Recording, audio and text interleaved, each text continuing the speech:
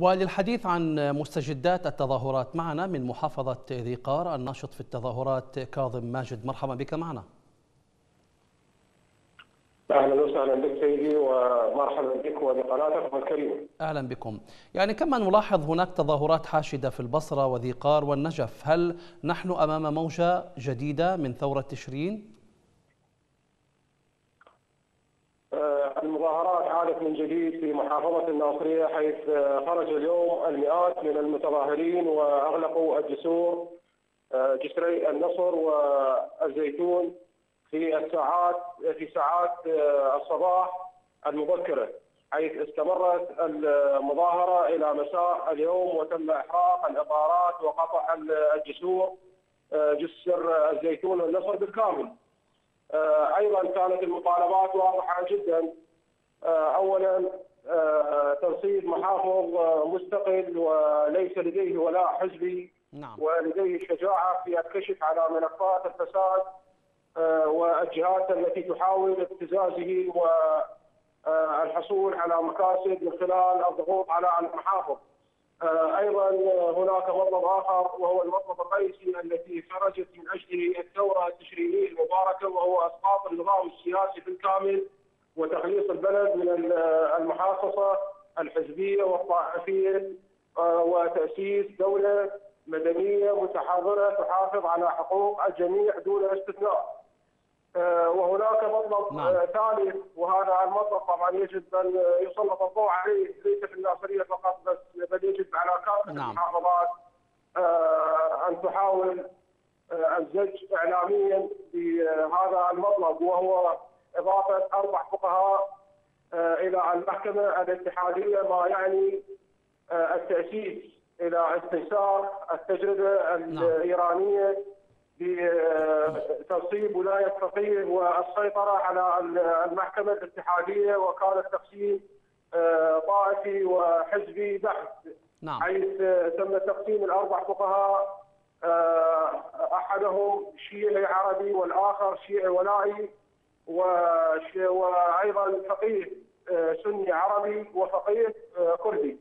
هذا يعني إن الدولة متجهة إلى الدمار والخراب وتهميش نعم. طيب. القوميات والطوائف والأديان الأخرى نعم طيب آه سيد كاظم آه، من ناحية أخرى من ناحية أخرى لو سمحت كيف أسهمت عمليات الاغتيال التي آه تنفذها الميليشيات في تصاعد الغضب الشعبي الذي آه زاد زخما من جديد المتظاهرون أدركوا تماما آه، بأن الدولة هي متواطئه مع الميليشيات وأن الجهات التي تقوم باختطاف النشطاء واعتقالهم آه، يعني علنا في في دوائر الدولة الرسمية آه، هو ضغط ميليشياوي بالتعاون مع الحكومة ضد المتظاهرين وأن الحكومة لن تكشف على الأطراف التي قامت بخوف وقتل وتفجير منازل المتظاهرين المتظاهرين في قطار يعون جيدا بانه لا لا يعني الدولة سوف لن تعلن لهم شيء وسوف لن تحاسب أحد وأن الميليشيات هي جزء من المنظومة السياسية بل إن الدولة هي دولة ميليشيات بالكامل.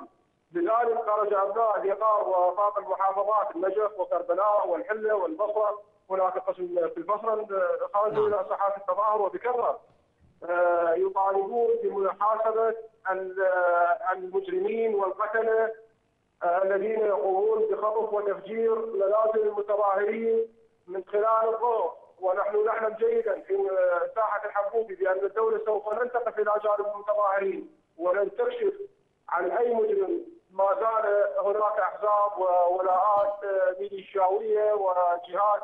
تابعه إلى دول أخرى ونحن نعلم هذه الدول لا نعم. تريد في العراق خيرا من ناحية أخرى من ناحية أخرى نعم. سيد كاظم آه، هل تتوقع أن آه، تنطلي وعود التغيير والإعمار على المواطنين العراقيين مع قرب الانتخابات؟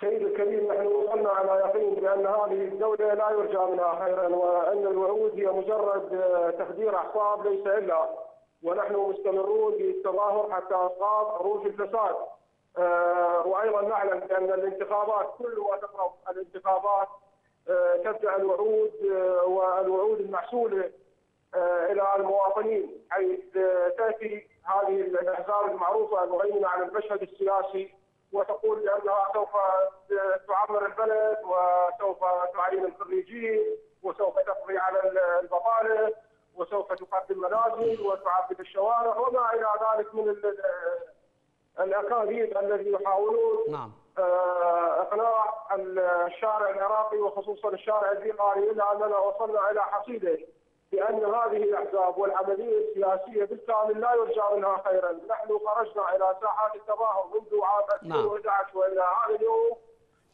بمناسبة هذا الحديث يعني أستاذ كاظم أنتم خرجتم أيضا للمطالبة بالتحقيق في عمليات الاغتيال لكن مسؤول حكومي في البصرة يؤكد أن الحكومة تتكتم على نتائج التحقيقات مع عناصر فرقة الموت ومع هذا الغضب الشعبي المتصاعد يعني هل بإمكان الحكومة تسويف القضية وكيف سيرد المتظاهرون من ناحية أخرى على هذه المماطلة الحكومية؟ هو لا سبيل غير التقعيد والضغط على الحكومة للكشف عن عن المجرمين ونحن نعلم جيدا وعلى يقين بأن الحكومة لن تكشف أي ملف من ملفات الفساد ولن تكشف عن أسماء القتله وهي تعرفهم جيدا. وقد تم تهريب عدد منهم وأنتم جميعكم تعلمون إلى إيران. فرق الموت الذي قامت بقتل العديد من النشطاء والناشطات في محافظة البصرة. قد تم تهريبهم إلى إيران لانهم ينتمون إلى جهات حزبيه مواليه إلى إيران. الدولة لن تكشف عن أي مسلم حيث نلاحظ بعض الأساليب الجديده كل ما تم التصفيه يعني مجاميع أو جماعات نعم. في المناطق الغربية من الناس العزل يقولون بأن داعش هو من قتلهم وأن داعش هي من أتت ونفذت كذا عملية وقتلت مجموعة من أبناء المناطق الغربية. أما في الجنوب لا حيث لا يوجد داعش فكل ما يتم قتل واحد أحد المتظاهرين على يد هذه الميليشيات يقولون بأن هناك ثار عشائري ولا ليس له علاقة بالأحزاب ولا بالسلطة. وخير دليل شاسد الهديتشي والد المحامي المختطف علي الهديتشي طبعا الرجل يطالب بإطلاق سراح ولده والتعرف نعم. على مصير ولده منذ سنة كاملة وقد تم قتله ذاك اليوم وهذا من اغرب من أغرب الحوادث من أغرب الحوادث التي يمكن أن يسمع عنها إنسان في الحقيقة سيد كاظم ماجد شكرا جزيلا لك